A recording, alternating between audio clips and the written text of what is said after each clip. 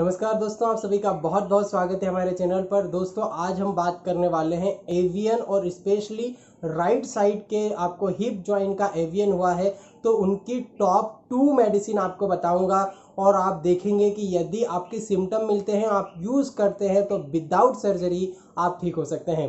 तो ये वीडियो बहुत क्रूशियल है उन सारे पेशेंट्स के लिए जिनको एवियन हुआ है और स्पेशली आपको यदि राइट साइड के हिप जॉइंट में जो है फीमर का हेड है, वो सड़ रहा है नेक्रोसिस हो रहा है तो आप राइट साइडेड एवियन के पेशेंट हैं तो आप बिल्कुल इसको देखिएगा, बिना स्किप किए देखिएगा और आप यदि पूरा वीडियो देख लेते हैं और आपके यदि सिम्टम मिलते हैं तो आप मेडिसिन का यूज़ आपके चिकित्सक के परामर्श अनुसार ज़रूर कीजिए। तो आपको बहुत अच्छे रिज़ल्ट मिलेंगे और बिना सर्जरी के आप ठीक हो सकते हैं। दोस्तों, यदि आप चैनल पर नए हैं तो प्लीज़ चैनल को सब्सक्राइब ज़रूर कीजिएगा, क्योंकि ऐसे ही वीडियो हम लोग डेली लाते रहते हैं आपके समक्ष और स्पेशली जो है मेल डिसऑर्डर्स को लेकर के एवियन को लेकर के हम लोग काफ़ी ज़्यादा फोकस होते हैं। तो आप यदि ये सारी टॉपिक्स को लेकर के जो है आप इंटरेस्टेड हैं तो आप हमारे चैनल को सब्सक्राइब करके बेल बटन दबाना ना भूलें। इसके साथ में हम होम्योपैथिक दवाइयाँ और बीमारियों पर भी डिस्कस करते हैं। तो ये सारी चीज़ें देखने के लिए आप चैनल को सब्सक्राइब करके बेल बटन ज़रूर दबाइएगा, ताकि आपको नोटिफिकेशन मिलती रहे। इंस्टाग्राम फेसबुक पर फॉलो करना ना भूलें। और यदि आप चाहते हैं तो आप हमें व्हाट्सअप के माध्यम से आप, जो है, हमसे ट्रीटमेंट भी ले सकते हैं। दोस्तों, ये ट्रीटमेंट पेड होता है, इसलिए यदि आपको पेड कंसल्टेशन लेना है तो ही आप हमें व्हाट्सअप कीजिए। दोस्तों, अब हम डायरेक्टली आते हैं कि टॉप टू मेडिसिन एवियन की क्या है। परंतु उसके पहले मैं आपको बताना चाहूँगा कि एवियन मोस्टली होता क्या है। आपने यदि मेरे चैनल रेगुलर आप देख रहे हैं तो आपको पता होगा कि एवियन पर मेरे काफ़ी सारे वीडियोस मैंने अपलोड किए हैं। तो उसमें मैंने बहुत डिटेल में आपको बताया है कि एवेस्कुलर नेक्रोसिस होता क्या है। एवेस्कुलर नेक्रोसिस मैं आपको शॉर्टली तो कुछ बताना चाहूँगा कि एवेस्कुलर नेक्रोसिस का मतलब होता है कि आपके उस पार्ट में जहाँ पर नेक्रोसिस मतलब सड़न पैदा हुई है स्पेशली हम देख रहे हैं कि हिप जॉइंट में ये पेशेंट बहुत ज़्यादा होते हैं एवेस्कुलर नेक्रोसिस के। तो एवियन आपको यदि हिप में हुआ है तो वहाँ होगा क्या? यदि आपको कहीं चोट लग गई हो, किसी भी कारण से आप गिर गए हो, आपको चोट लग गई एक्सीडेंट हो गया हो, या किसी भी, यदि एक्सीडेंट नहीं हुआ, चोट नहीं भी लगी तो भी एवियन हो जाता है। तो उस समय होता क्या है कि आपके जो हिप ज्वाइंट है हिप ज्वाइंट की जो नसें हैं जो खून आपके जॉइंट को सप्लाई कर रही है, वहाँ पर उस नस में चौक हो चौकिंग हो जाती है, जिस कारण से आपके फीमर के हेड को मतलब आपके जो कुल्हे का जॉइंट है, कुल्हे के जॉइंट को प्रॉपर ऑक्सीजन नहीं मिल पाती प्रॉपर न्यूट्रिशन नहीं मिल पाता है प्रॉपर खून वहाँ पर नहीं जा पाता है, इस कारण से वहाँ पर सड़न पैदा होने लग जाती है।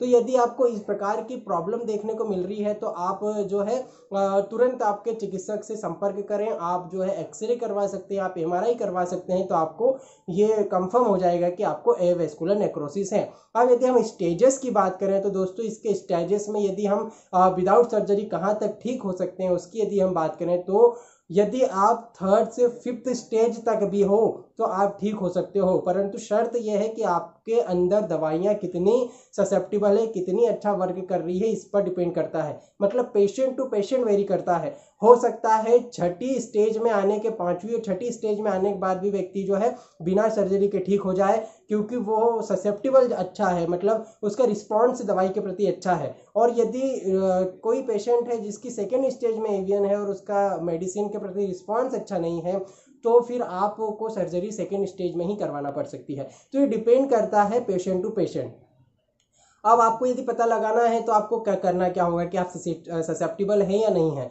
तो आपको आपके योग्य चिकित्सक से मिलना होगा। आपके एरिया के जो भी बेस्ट होम्योपैथिक डॉक्टर हैं, उससे मिलिए और डिस्कस कीजिए। वो आपको दवाइयाँ देंगे। दवाई देने के बाद में जो है आपका एक असिसमेंट होगा और उसके आधार पर ही तय होगा कि आप कितने ससेप्टिबल हैं। यदि आप हमसे ट्रीटमेंट लेते हैं तो हम लोगों का ट्रीटमेंट दोस्तों बहुत शानदार है। हम लोग जो है आपको हर पॉइंट टू पॉइंट गाइड करते जाते हैं और गाइड करने के साथ में हम लोग जो है आपका रेगुलर बेसिस पे असिसमेंट करते रहते हैं ताकि हमको आपके पूरे शरीर की एक पिक्चर पिक्चर सामने आ जाए ताकि हम आपको जल्द से जल्द हमारी दवाइयों से ठीक कर सकें।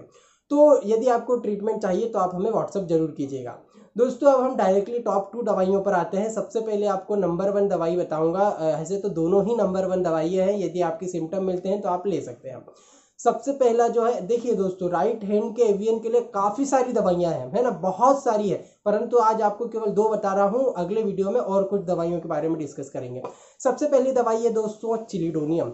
चिलीडोनियम आपके लिए बहुत शानदार दवाई है दोस्तों। आपको राइट साइडेड एवियन है तो आपको बहुत अच्छा काम करेगी। साथ में यदि राइट साइडेड एवियन में आपका जो फीमेल फीमर का हेड होता है फीमर का हेड जो है, वो एंटीरियर और सुपीरियर भाग जो होता है, आप आपकी एमआरआई में देखेंगे तो एंटीरो सुपीरियर भाग में यदि जो है एवियन हुआ है, एवेस्कुलर नेक्रोसिस हो रहा है तो आप चिलीडोनियम यूज़ कर सकते हैं। चिलीडोनियम के पेशेंट का एक सिम्टम ये होता है कि उनको जो है जॉन्डिस जैसी परेशानी बनी रहती है, पीलिया जैसी शिकायत रहती है। जो उनकी स्किन होती है, वो थोड़ी पीली होती है, जैसे पीलिया के पेशेंट को होती है ना, वैसी थोड़ी पीली होती है, साथ में उनका एचबी काउंट कम होता है। साथ में इन टाइप के पेशेंट को गैस्ट्रिक ट्रबल हमेशा बना रहता है, या तो कब्ज हो जाएगा या जो है आपको लूज मोशन हो जाएगा गेंस की परेशानी रहेगी अपच की परेशानी रहेगी पेट फूलने वाली परेशानी रहेगी मतलब आपको पेट संबंधी परेशानी हो सकती है, या फिर आपको लीवर संबंधी बहुत सारी परेशानी हो सकती है। चाहे आप जो है ज़्यादा हैवी ड्रिंक करते हो तो ड्रिंक के कारण आपको हेपेटोमेगाली हो गया हो, है ना? लीवर में सूजन आ जाती हो, या आपको प्रीवियस हिस्ट्री यदि जॉन्डिस की रही है, और उसके बाद में आपने देखा कि जॉन्डिस हुआ, फिर आपको धीरे धीरे एवेस्कुलर नेक्रोसिस हुआ तो आपके लिए चिलीडोनियम रामबाण दवाई है। चिलीडोनियम के पेशेंट को एवियन वाले भाग पर यदि आप दबाओगे तो बहुत अच्छा लगेगा। मतलब प्रेशर से उसका दर्द कम होगा। तो इस प्रकार के आपको सिम्टम देखने को मिल रहे हैं तो आप चिलीडोनियम को यूज़ कर सकते हैं। चिलीडोनियम को आपको जो है थर्टी पोटेंसी में दिन में तीन बार यूज़ करना है। साथ में आपकी पोटेंसी भी जो है आपके पेशेंट टू पेशेंट वेरी करती है। मैंने इन जनरल आपको पोटेंसी बताई है।